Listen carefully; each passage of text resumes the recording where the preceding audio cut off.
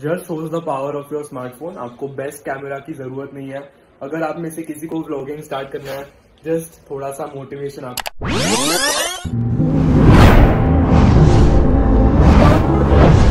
So in this video, I'm going to share how to blog like a Sake Duokle with just smartphone.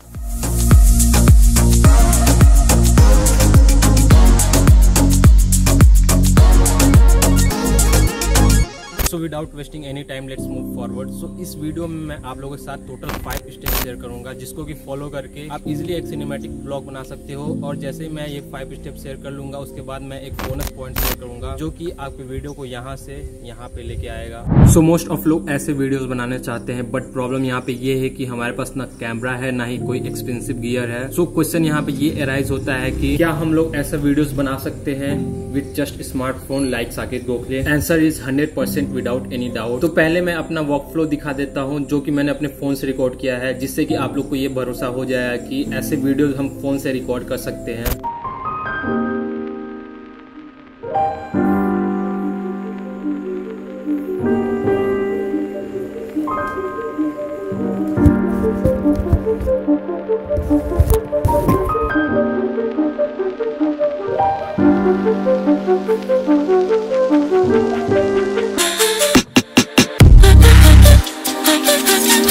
आप लोग वो building देख रहे हो, वहाँ पे हमें जाना है। वो छोटे से जंगल में। अभी धूप भी होने शुरू हो गया है तो अभी जल्दी से निकलेंगे। Almost I am there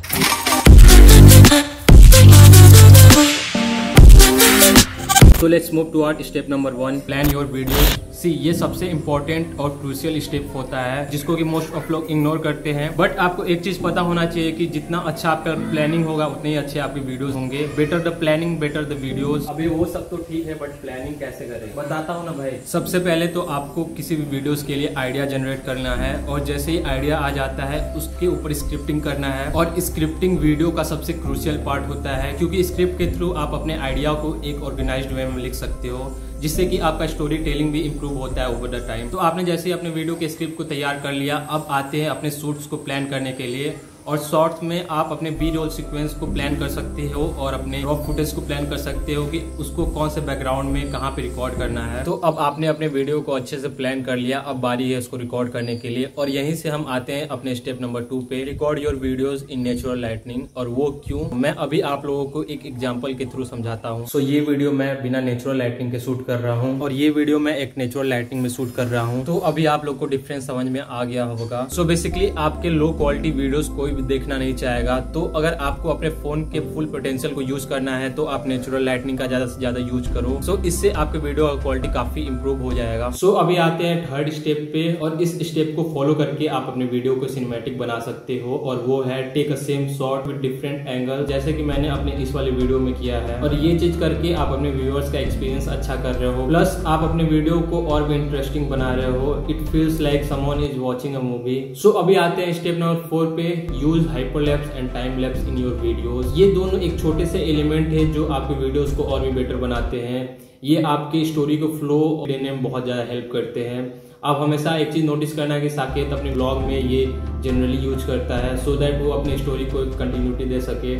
So now moving to our step number five editing तो अभी तक जितने भी मैंने आप लोगों से स्टेप शेयर किए, ये उनमें से सबसे इंपॉर्टेंट स्टेप है। तो आपको एडिटिंग के लिए कोई भी अच्छा सॉफ्टवेयर यूज़ करना है like Filmora Adobe Premiere Pro and DaVinci और जो सॉफ्टवेयर अभी मैंने मेंशन किया ये एक एडवांस लेवल सॉफ्टवेयर है। तो तो पहले आप लोगों को इन सॉफ्टवेयर को सीखना पड़ेगा तब आप जाके अच्छे से एडिट कर सकते हो। एंड बिलीव मी अगर आप लोगों ने एक बार इन सॉफ्टवेयर में से कोई सा भी सॉफ्टवेयर सीख लिया then it will going to be worth it for your whole life and अगर मैं अपना एग्जांपल दूँ तो मैं खुद प्रीमियर प्रो सीखने के बाद अभी आफ्टर इफ़ेक्ट सीख रहा हूँ सो डेट मैं अपने कॉन्टेंट को और भी बेटर बना सकूँ। सो so, अगर आप लोगों ने यहाँ तक वीडियो देख लिया है तो कॉन्ग्रेचुलेसन आप लोग के लिए अब एक बोनस पॉइंट है। नो मैटर आप लोगों ने कितना भी अच्छा वीडियोग्राफी स्किल और एडिटिंग स्किल डेवलप कर लिया हो बट अगर आपके ऑडियो का क्वालिटी अच्छा नहीं होगा तो फिर आप वो व्यूअर एक्सपीरियंस नहीं दे सकते हो। Because audio is more important than video तो मैंने इस चैनल पे 50 प्लस वीडियो अपलोड कर दिए हैं। जस्ट इस फ़ोन से रिकॉर्ड करके तो अगर मैं ऐसे वीडियोस प्रोवाइड कर सकता हूँ जस्ट फ़ोन से रिकॉर्ड करके देन वाई कांट यू तो मैं अभी आप लोगों के साथ अपना ये सेटअप शेयर करना चाहूँगा। तो अभी आप लोग देख सकते हो कि मैं अपने फ़ोन से रिकॉर्ड कर रहा हूँ एक छोटे से सेटअप के साथ। सो so, अगर आप भी एक यूट्यूब चैनल क्रिएट करना चाहते हो तो ये कुछ टिप्स आपको हेल्प कर सकता है। And if you have any question comment below down and अगर आप एक नए व्यूअर हो तो please do subscribe to the channel so that's it for this video I